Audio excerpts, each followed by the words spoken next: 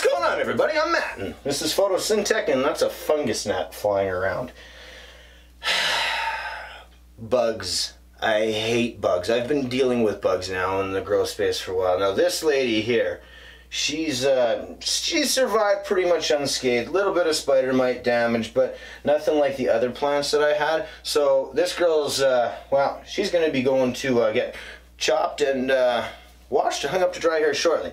Now, before I go any further, I just want to take a quick uh, minute and say thank you to everybody who's subscribed to the channel so far. Recently hit 200 subs, and while I know this isn't a massive number in terms of YouTube subscribers, to me, it's it's just amazing. Thank you so much for subscribing. If you have, if you haven't, please think about doing so. Uh, I love making these videos, and I must be doing some right if you guys are hitting that button. Anyway, that being said, today we're going to be cleaning out this grow space. I'm going to chop this girl down. We're going to get her hung, and then I am going to be hitting this space with a bunch of different uh, treatments, if you will. So let's get started on that. Talk about that first one in a minute here, the Dr. Doom Fogger. But uh, first, I need to chop this girl down. Okay, well, quick uh, chop, wash, and hang, and that guy's gonna sit and dry now for, yeah, five to seven, ten days. Again, just depends on the plant. Keeping that relative humidity at the right, uh, well, humidity and the temperature at the right temps. So let me just show you what I got going on here now. So you can see, uh, I've just got the one pot. Uh, I'm gonna clear that out, gonna pull up this plastic here still. Uh, but otherwise, yeah, the, the space is completely empty.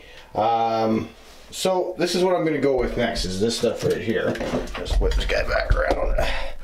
So this is this is what I'm going to be taking out here. The the Dr. Doom Go Green Total Release Fogger here. You see that there. This stuff contains py pyrethrin. Py oh, hold on a second here. Let's see. Okay, this this stuff contains uh, pyrethrin. Py pyrethrin. Pyrethrin. Pyrethrin. Okay. So Dr. Doom actually happens to be uh, north of me here, up in uh, the the capital of Alberta, which is Edmonton, of course. And I've uh, I've spoken to these guys. I sent them a letter. I said, "Is this stuff okay to use on my on my my grow room and you know my plants and stuff?" And they said it's fine to use on plants up to three days before flower. Now that's going to be a personal growing choice. I I decided again not to use anything like this, but I'm going to use it now because the space is empty. So let's let's check out what it says here the instructions. Uh, directions for indoor use. We would be on the indoors.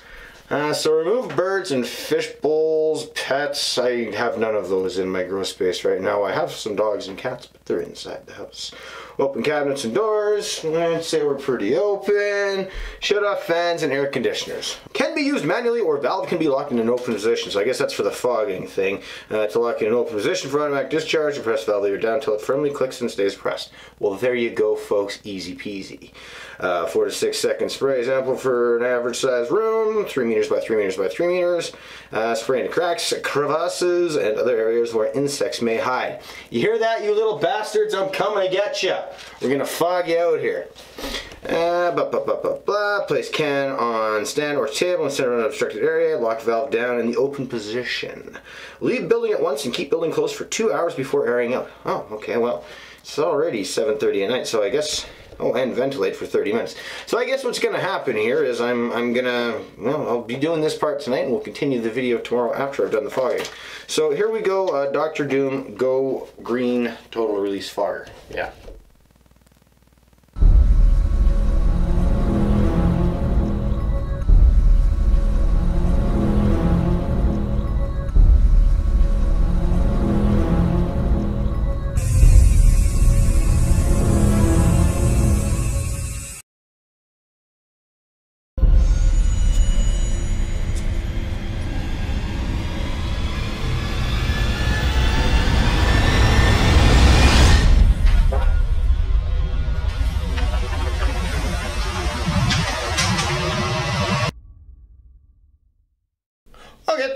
There we go. That was fogging. Um, not particularly difficult in any way, shape, or form. The big thing was to make sure that I got, of course, the room aired out properly. So I've now been uh, sitting here for about 22 hours with the space pretty much completely empty, just airing out.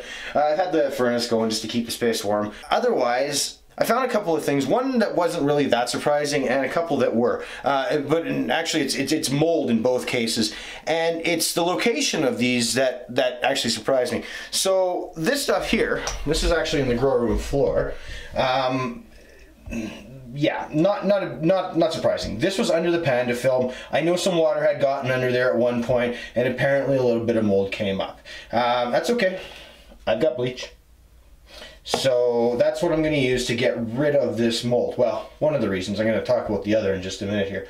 Otherwise, let's cut away to a couple other shots here. I actually had mold in the corners of a few spots in the grow room. This was surprising, and this, from what I can tell, was having a uh, having a cold wall up against well, warm-ish stuff with too much humidity. See, what happened here is in the last few weeks where I live dropped to like just stupid cold. It was minus 30 degrees Celsius, which is pretty close to that in Fahrenheit, I recall. I had some wicked humidity issues because I also ran into a day where the grow room controller just lost its marbles and it wasn't controlling things right. And it took me a little bit to clue in. It wasn't until the humidity spiked up to like 85% in the room. It was crazy. Uh, this is actually a shot of my exhaust vent weeping into the room here. So I, I, think what happened there because of that and because of this space, I just ended up with some mold. But that's okay. So I got some bleach here. And normally that's what you would use. You would just take and spray it down the uh, surface here of where the, the mold is and everywhere else in the room to clean up the space. Now I've got another method that I'm going to use. I'm going to show you that here in a minute. And this is going to be flipping unreal to kill all these bugs. So if you don't have what I'm going to show you next, bleach. Just bleach the entire space. Wear gloves, wear a mask, and just bleach it really, uh, really well. Now don't use direct bleach, straight bleach, because that's just crazy. Uh, use a solution of diluted bleach. Um, so, so just bleach. Bleach. Ladies and gentlemen, boys and girls, children of all ages, and anybody else. Actually, you know what, children, if you're watching, you shouldn't be watching this. This is adult content. I'm gonna show you my next trick here, folks, and this is what I'm gonna ultimately do, I think, to rid this space once and for all of spider mites. Steam. Woo! I got a uh, steam cleaner here, uh, Dupray Neat. This oh, I'm not sponsoring or anything like that. I just, I'm showing you, this is, uh, this is something personal that we have here in the house. Um, this thing is awesome. It's a steam cleaner. Gets the temperature up to about 240 degrees Fahrenheit from what I understand. Nice hot steam. Now, mites, will die at about 135 degrees Fahrenheit or as low as minus 12. Now, had this been a couple weeks ago, I probably just would have cold nuked this room by bringing the entire space down to like minus 30 degrees. But, you know, since I don't have that option, it's kind of got nice here. Woo! Steam. So let's uh, let's get to work. Mm -hmm.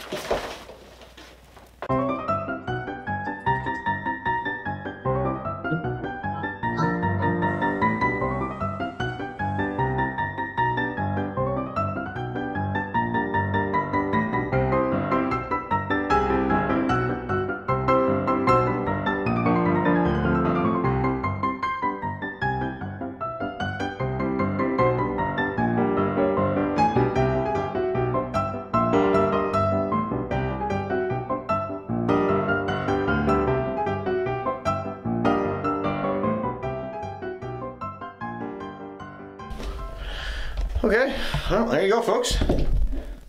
That is cleaning up the grow space. Now, if you don't have access to a steam cleaner like I've got here, it, bleach is going to do just fine.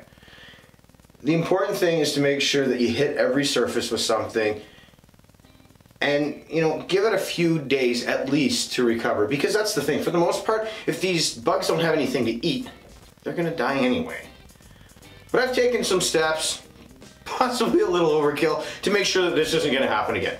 And going forward, I am going to run with a pest management plan. I'm going to be doing some sort of organic spraying. I'm, I'm not sure. I have to look into this, do some more research. I'm going to do another video on that in the future, but that's in the future.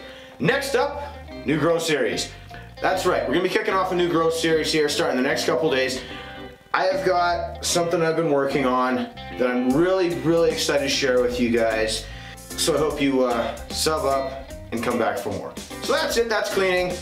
I'm Matt, this is PhotoSynTech. We are the channel that is high on knowledge. We out.